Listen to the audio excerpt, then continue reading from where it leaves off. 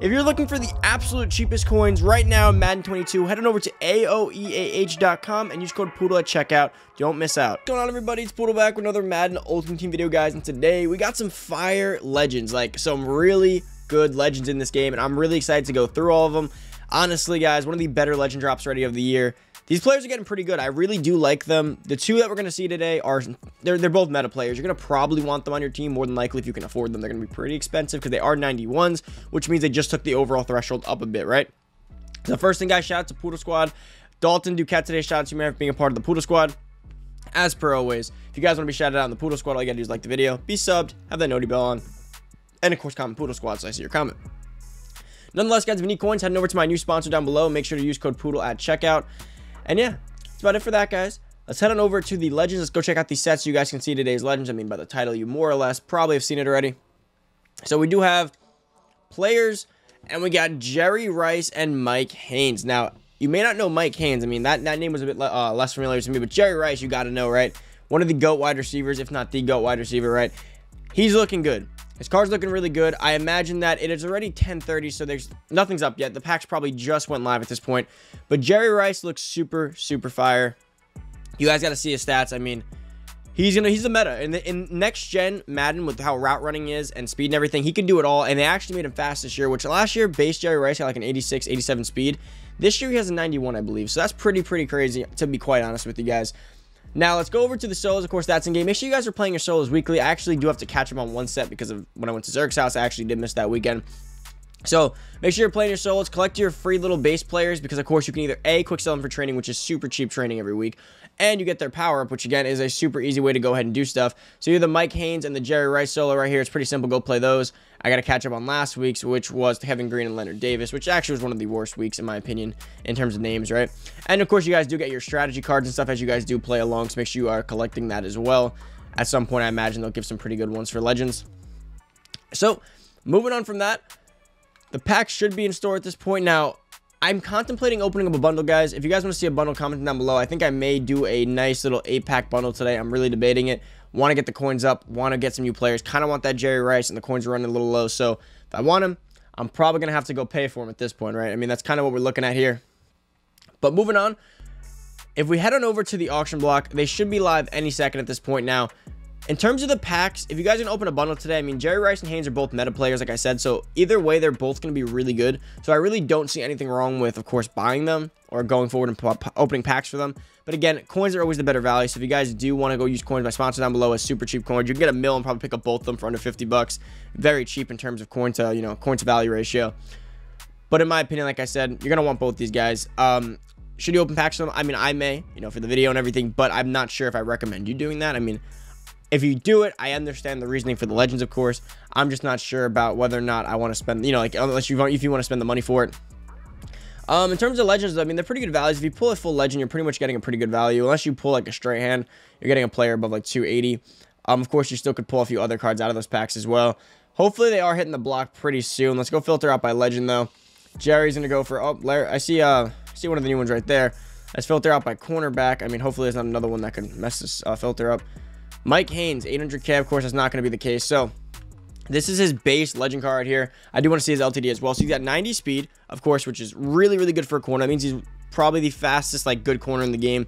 91 excel, 88 agility, 91 jumping, 87 play rec, 90 man, 90 zone, 91 press. So he's going to be an all threshold 90 corner for the most part. And of course, if you do power him up, he will get 91 speed as well as, you know, He's six foot two, 192. Like that's great height for next gen. I really like that. He also has 91 jumping. He'll have 80 catching powered up.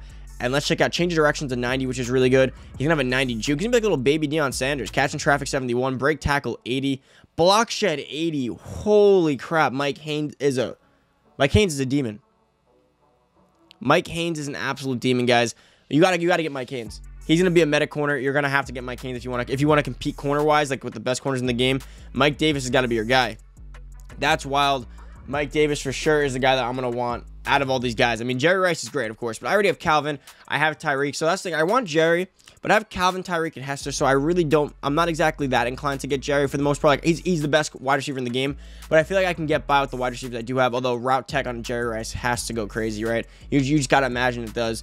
But Mike Haynes is looking super fire. I really do like this card. Um, Again, can I see you going any other route at corner right now? I mean, if you got Revis and Haynes, you pretty much got those meta corners locked up. He should be down to probably 380, 400k pretty fast. I mean, you know how that goes. Again, they are 91, so that could hold their value up more than, than usual. Let's check out Jerry Rice. He should be up on the block at this point, considering there's already some Mike Haynes up.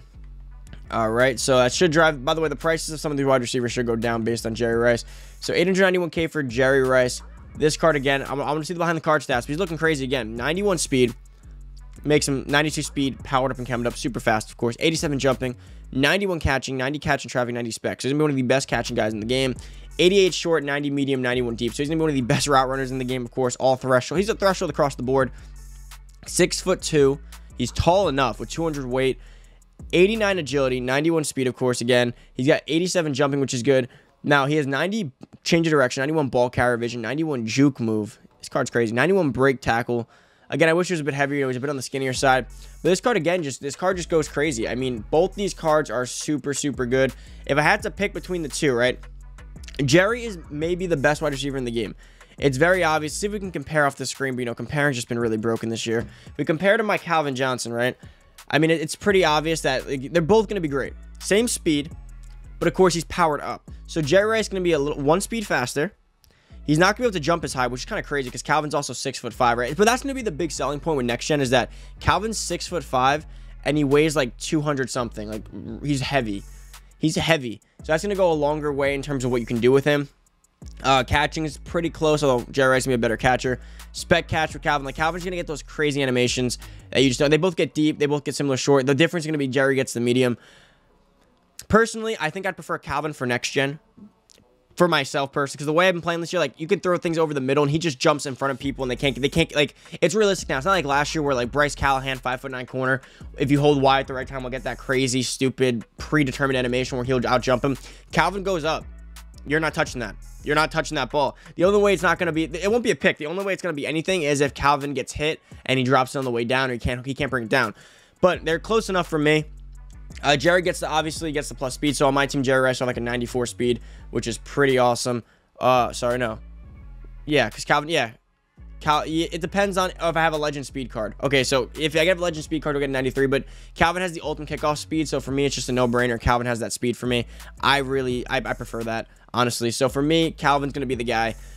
But Jerry Rice is insane. I mean, I think if you have at least one of the two, you're pretty good for your number one. Although having Jerry and Calvin on both sides is just absolutely ridiculous. I mean, you, you just you can't argue that one. And then of course, hopefully the LTD card art goes up pretty soon, so I can show you what that looks like. I mean, that's gonna be expensive. That LTD one. Um, still no LTD Rice. I mean, maybe they're not in packs. There'll be some make rights. You know that goes. Uh, okay, back to Mike Haynes. So Mike Haynes, let's compare him to Darrelle Revis. So you guys can get a pretty good idea of how they compare. Though I really like Revis. You know, I'm a New York guy. A, I'm a Giants fan, but still being from New York, it's always cool to see some New York-based legends. You know, can never complain about that. So here we go. So speed, Darrelle's going to be down one speed, which isn't horrible actually because Darrelle's an 89 and Mike Haynes is a 91. So that's a two plus difference. So technically Darrelle is faster per overall. Excel's a little bit different. 5'11", he's tall, he's smaller. Agility is the same. Jumping's less, play rec's less, man's less, zone's less, press is less. They're very, very close. If Darrelle was a 91 overall, he would be better. If Darrelle was 91 overall, they'd have the same press. They'd have probably the same zone. They'd have the same man. He'd have better play rec. He'd have less jumping, better agility. He'd have probably the same excel, and he'd be faster.